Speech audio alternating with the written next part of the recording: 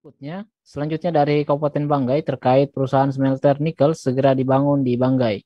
Gubernur Sulawesi Tengah Rusdi Mastura menyampaikan beberapa target pembangunan saat kunjungan kerjanya di Kabupaten Banggai. Satu di antaranya adalah target pembangunan perusahaan smelter untuk pengelolaan nikel. Untuk informasi selengkapnya saya sudah tersambung dengan rekan Asnawi Zikri. Iya, salam. Baik, uh, rekan Asnawi, bisa mungkin dijelaskan ya bagaimana skema hadirnya perusahaan smelter nikel uh, di Banggai? Ya benar, salam uh, Gubernur Sulawesi Tengah uh, bersama unsur uh, Forkopimda pemerintah Sulawesi Tengah mengunjungi uh, Kabupaten Banggai dan Kabupaten Banggai Laut. Nah, dalam kunjungannya ke Kabupaten Banggai, Gubernur Sulawesi Tengah Rusdi Mastura menyampaikan beberapa uh, target pembangunan di wilayah Timur Sulawesi ini ya. Uh, salah satunya itu adalah pembangunan uh, smelter untuk pengolahan ore nikel.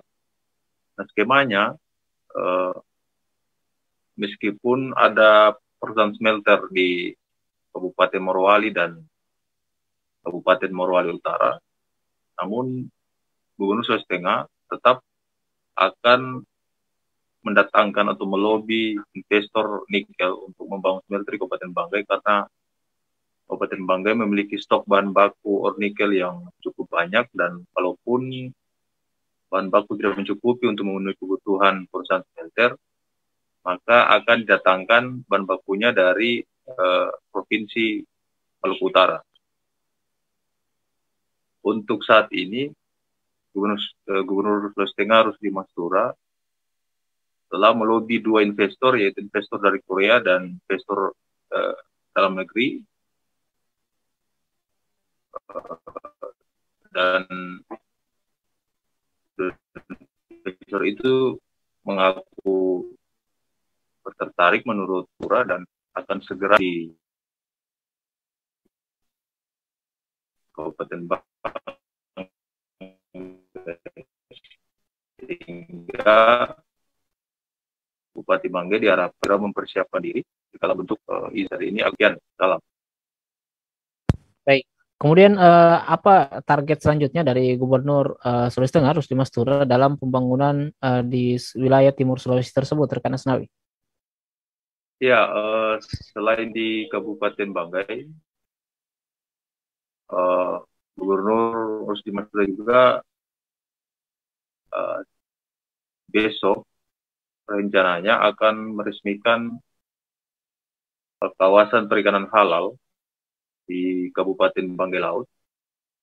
Dan program kawasan perikanan halal itu merupakan program dari Wakil Presiden Republik Indonesia Maruf Amin. Di Indonesia, pelabuhan perikanan halal itu hanya ada dua ya, daerah itu di daerah Bangkalan, Madura, dan di setengah itu ada di uh, Kabupaten uh, Banggai Laut.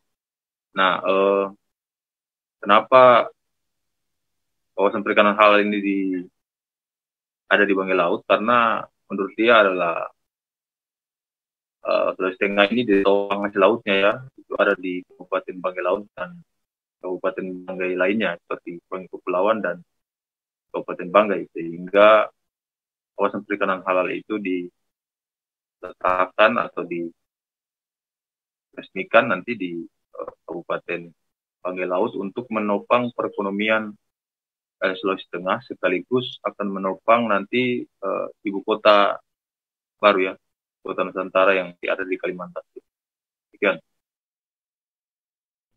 Baik, uh, Tribunal sebelum mengakhiri laporan dari Asnawizi, kami akan menampilkan video uh, terkait perusahaan smelter nikel segera dibangun di Kabupaten Banggai. Berikut videonya untuk Anda.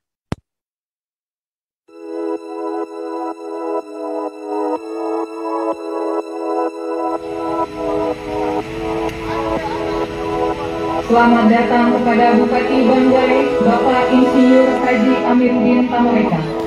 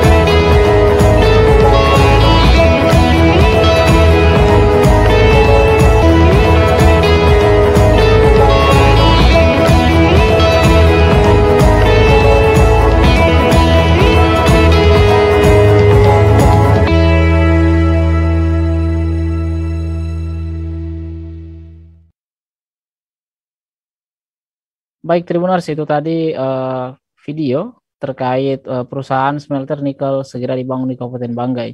Untuk rekan Asnawi Zikri, terima kasih atas laporannya. Selamat bertugas kembali dan tetap patuhi protokol kesehatan.